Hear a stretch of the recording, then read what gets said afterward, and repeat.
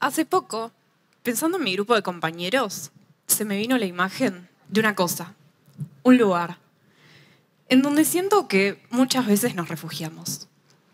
Algo así como un caparazón de tortuga. Entonces quise saber algo más y me puse a investigar. ¿Cómo está conformado? ¿Para qué le sirve? ¿Cuál es el motivo de generar un caparazón? Leí que está construido por placas cubiertas de escamas que le dan dureza y rigidez. Y al ser parte de su esqueleto, se va desarrollando y va creciendo al mismo tiempo que el animal. Este caparazón le sirve como un escudo para protegerse de lo exterior, de cada cosa que suceda por afuera. Esto me hace pensar que los adolescentes también generamos una especie de escudo, de caparazón de tortuga, que es muy difícil de traspasar, que muy pocas personas conocen en su interior de verdad. ¿Será que actuamos diferente adentro que afuera de nuestro caparazón? ¿O solo actuamos como creemos que las otras personas están esperando que actuemos? Una vez leí una frase de una psicóloga argentina, Beatriz Janín. Ella, entre otras cosas, dice, la estructuración psíquica de un niño se da en relación a los otros que le devuelven como un espejo una imagen de sí. Entonces pensé, ¿será que a los adolescentes también nos pasa? ¿Será que estamos siendo espejo de lo que esperan los demás de nosotros? Les voy a contar una historia. Hace algunos años trabajo de profe de esquí con niños. Empezó siendo un juego que terminó transformándose en parte de mi vida, de mis intereses.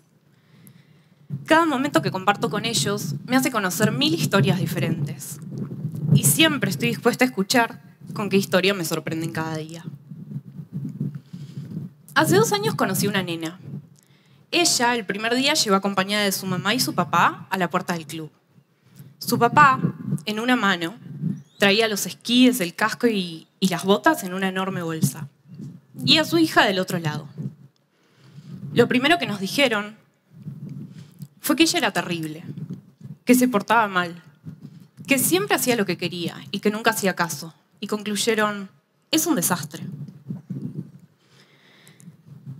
A lo largo de nuestro primer día de esquí, notamos que quizás su familia había exagerado un poco. Esa nena no nos parecía ningún desastre, ni tan terrible.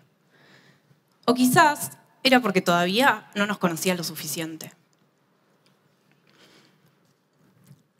Cada día y cada tarde de esquí notábamos lo bien que la pasaba, cómo se divertía, cómo se divertía con todo lo que la rodeaba y toda la onda que le ponía al aprender. Hasta que llegaba ese temeroso momento, en la tarde, de volver al club, donde su familia nos esperaba. Aunque no me crean, al ver a su hermana y a su mamá, se transformaba. Lo primero que hacía era revolear los esquíes a un costado de la escalera, sacarse el casco y subir, enojada, a los gritos, haciendo capricho. ¿Por qué, si todo el día se había portado súper bien, al ver a su familia cambiaba su actitud? Frustrada y sin saber qué hacer, yo llegaba a mi casa contando esta historia, día tras día, semana tras semana. Un día mi mamá subió a esquiar con nosotras, a darnos una mano, y pudo conocer a esa tierna nena que yo tanto había mencionado. Y, al volver a, y a la tarde, al volver al club, fuimos dos las que vimos la otra parte de la historia.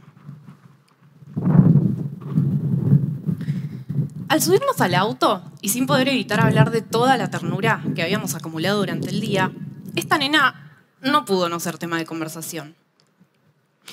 Y llegamos a la siguiente conclusión.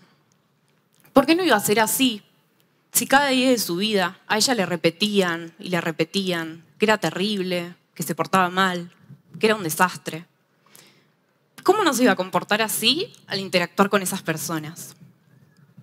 Aunque sabemos que esta nena en las pistas, lejos de su familia y cerca de toda su aventura diaria, podía demostrar una parte de ella que abajo, en el club, cerca de, su, cerca de su familia y sin su caparazón de casco y esquíes, le era imposible.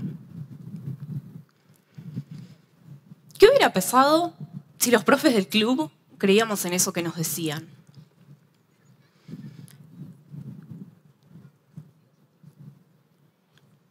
A veces me pregunto si los adolescentes no aprendemos cada día a ser quienes nos dicen que somos.